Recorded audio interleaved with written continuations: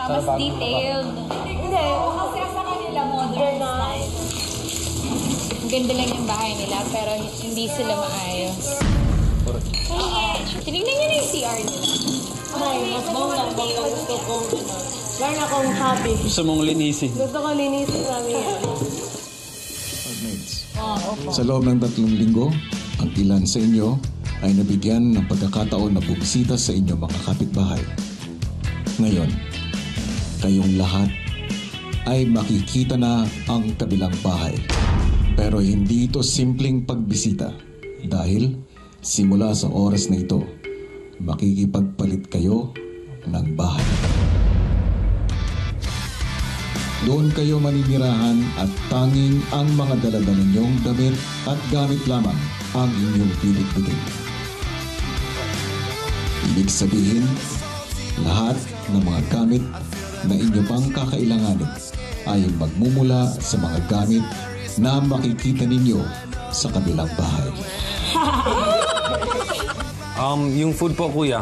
Kasabay ng paglipat ninyo ay ang paglipat din ng inyong pagkain. Okay lang, okay lang.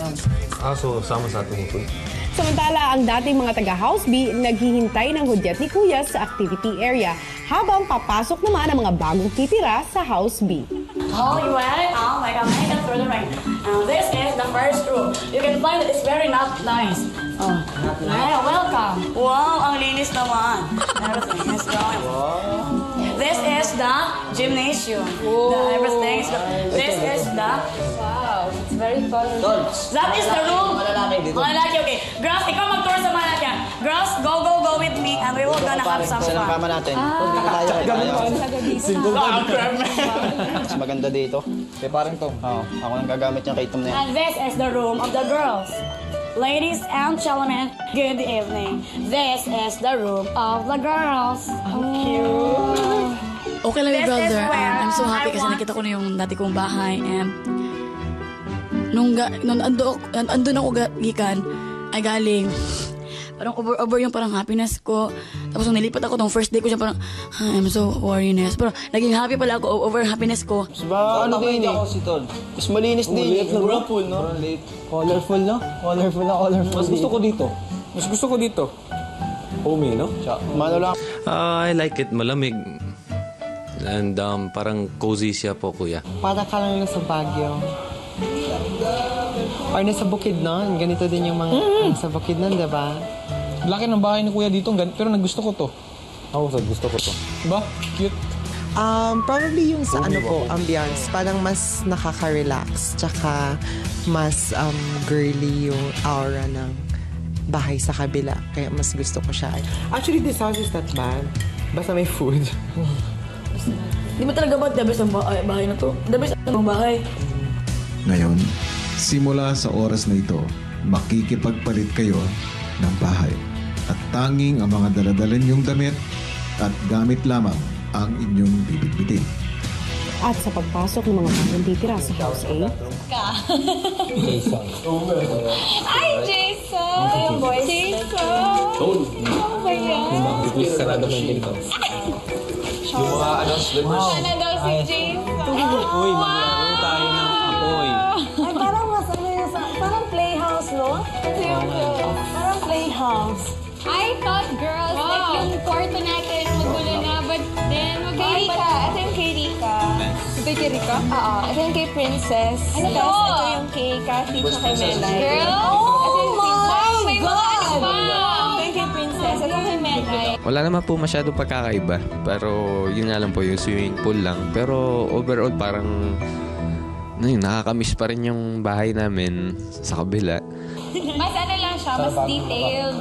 Hindi, kasi sa kanila modern style. Ganda lang yung bahay nila, pero hindi sila maayos.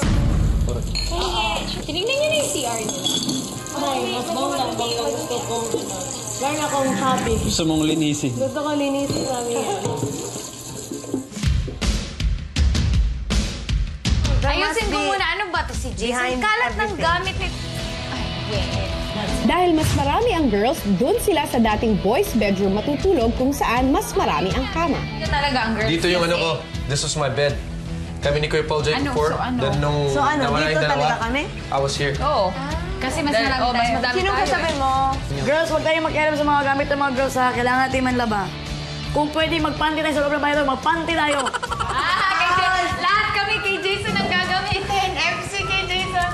At least, di ba? Kasi friend na natin siya. Hindi na siya magagalit. Pag uwi niya, Wala na akong masuot. Dude, wala na yung Ginamit na ng girls. Di ako gagamitin naman nila yung damit natin eh. 100% sure ako. Pag ganun, pwede sana sa akin si Prince. Oh, Tom, kung alam mo lang na wala na si Princess sa bahay ni Kuya. Yeah, this has to be hers. Because she's the only one that does this. Hmm, bango. Na oil.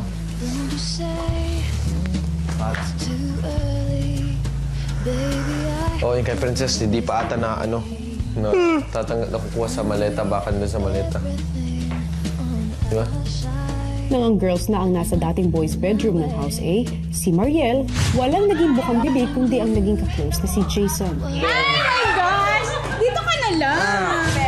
Hindi naman masyadong magagalit si Jason kasi lalaki siya. Hindi siya masyadong magalit sa babae. Pero pag babae to babae, parang Hindi.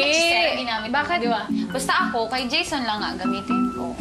Okay naman po, naninibago po. Tapos compare kami ng compare. Pero masaya po.